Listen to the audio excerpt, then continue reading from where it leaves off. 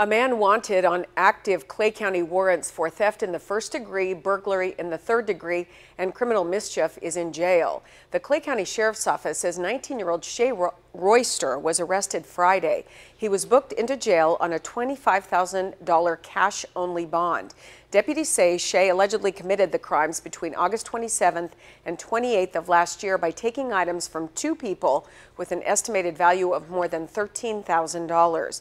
Deputies add Shay also committed burglary in the third degree when he entered the residence near the 1200 block of 490th Street in Peterson, Iowa. They also say Shay intentionally damaged a safe by puncturing two holes in it to retrieve the items inside.